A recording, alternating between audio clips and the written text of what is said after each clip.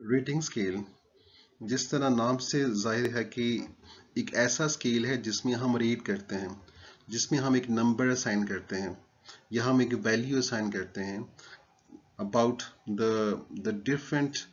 nature of of the information that is being asked. So it is used to gather information about a specific topic and while you are collecting the information about a particular topic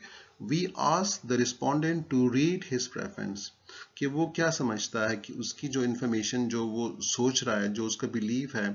उसको वो किस scale पे read करेगा किस scale पे उसको major करेगा या उसकी इंटेंसिटी कितनी है so it's a type of multi multiple choice items in which the the respondent assign a value तो इसमें उसके पास different choices हैं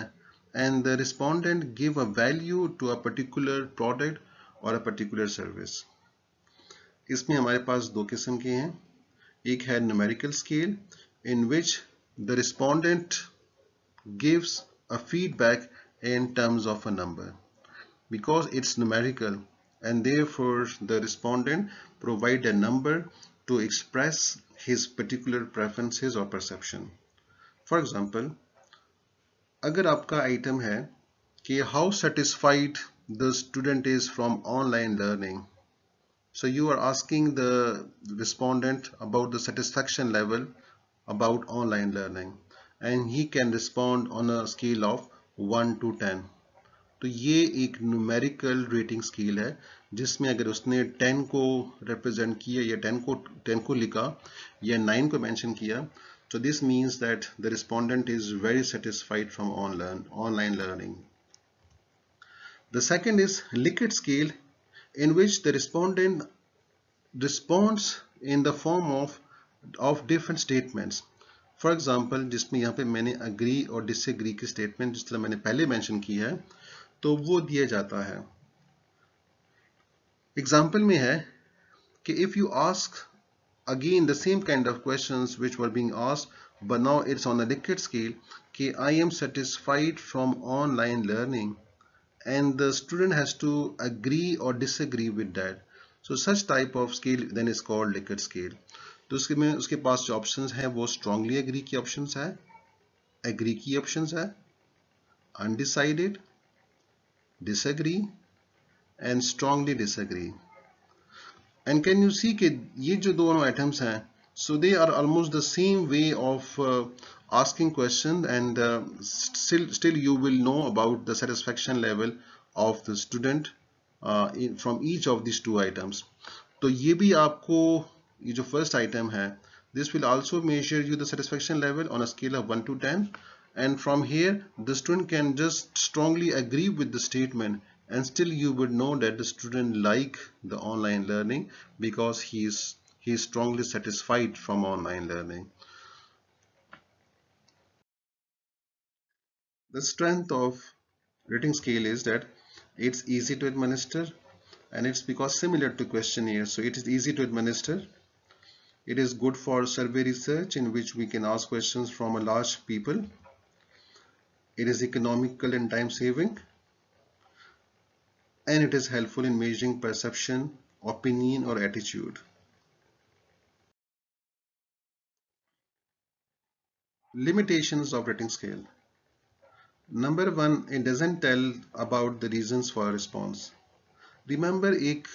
respondent आपको सिर्फ़ ये बताता है कि वो कितना agree है या उसका level of satisfaction कितना है on a scale of 1 to 10 or on a scale of 1 to 7 लेकिन क्यों है? आखिर क्यों ऐसा वो सोचता है? So this kind of information is not explored in rating scale it has low reliability and it requires an expert for analysis. Low reliability जिस तरह हमारे पास क्वेश्चनियर की है, इसी तरह ये भी चूँकि क्वेश्चनियर की फॉर्म में हम देते हैं तो लिहाजा यहाँ पे भी वही लो रिलायबिलिटी आ जाती है that people can just respond very randomly and haphazardly on these kind of responses and we exactly do not know about the exact preferences or the perception or the level of agreement or disagreement of a person और इसकी जो analysis है again it requires expert statistical information and knowledge about the stat to analyze such kind of scale. In conclusion हमने देख लिया कि हमारे पास research में जो इंस्ट्रूमेंट्स हैं तो हर इंस्ट्रूमेंट के अपने फ़ायदे भी हैं और उनके अपने लिमिटेशंस भी मौजूद हैं। और अब हमने अपने ऑब्जेक्टिव्स को मीट करने के लिए डिफरेंट रिसर्च इंस्ट्रूमेंट यूज़ करने हैं। तो रिमेंबर हम हमेशा ऐसी कोशिश करें कि वो वाला रिसर्च इंस्ट्रूमेंट यूज़ करें जिससे हमारा डेटा ज़्यादा क्रेडिबल और ज़्यादा रिलायबल हो। अगर किसी जगह पे आप देख लें कि आपकी ऑब्जेक्टिव्स को मीट करने के लिए दो तीन इंस्ट्रूमेंट से आप काम ले सकते हो तो आप मल्टीपल इंस्ट्रूमेंट यूज़ करो। आप combination of research instrument use करो। ये बिल्कुल ऐसा ही है कि आप अगर कोई डॉक्टर किसी पेशेंट का ब्लड प्रेशर मेजर करना चाह रहा है तो वो पहले एक इंस्ट्रूमेंट से मेजर करे, फिर वो दूसरे से मेजर करे और फिर दोनों देखे कि कौन सा इंस्ट्रूमेंट ज़्यादा रिलायबल है। अगर दोनों ने एक ही आंसर दे दिया, इसका मतलब है कि दोनों ठीक हैं therefore both instruments are supplementing and supporting each other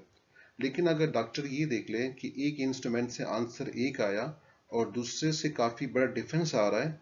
तो मतलब ये हो कि एक इंस्ट्रूमेंट उसमें गलत है उसमें वो सही काम नहीं कर रहा।